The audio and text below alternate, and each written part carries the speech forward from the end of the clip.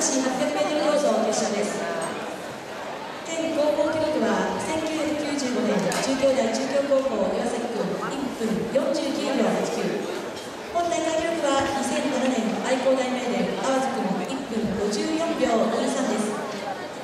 決勝には8名の競技者が第1レーンから出場します第1レーン梶田直弘君西春第2レーン山根光太君岡崎西第3レーン宮地光大君岡崎北第4レーン梅村和樹君千草第5レーン岡田直哉君愛工大名電。第6レーン高島健介君高第7レーン古川祐介君愛知黎明第8レーン渡辺純也君岡崎城西以上1名で男子 800m 競争決勝です男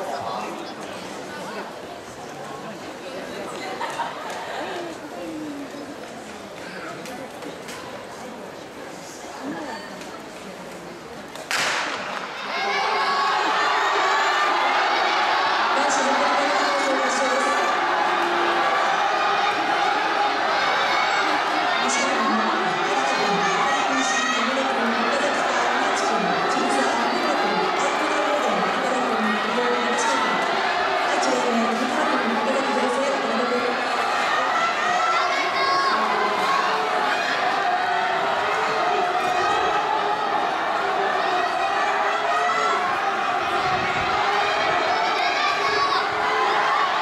予選通過は1分52秒から59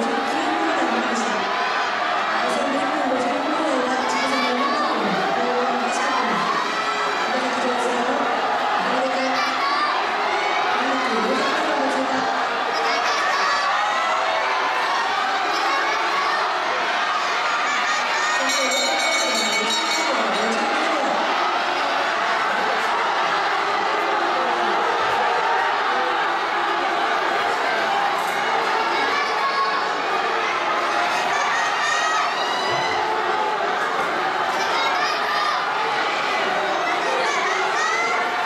次は60点。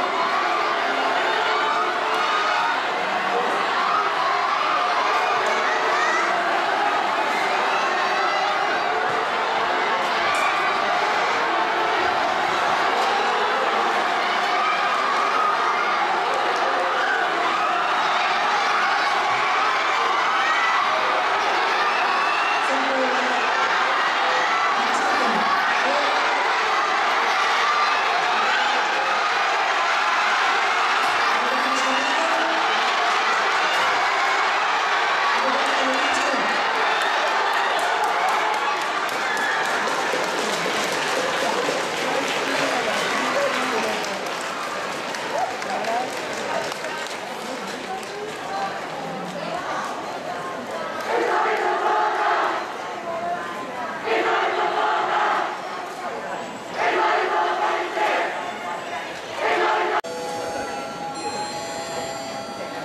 1分お待たせのとただいま終了いたしました男子 800m 競争決勝の結果です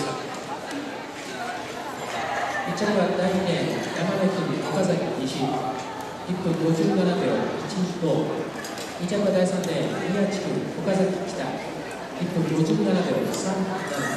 3着は第6レーン中島君高1分57秒42それ以下はご覧ください。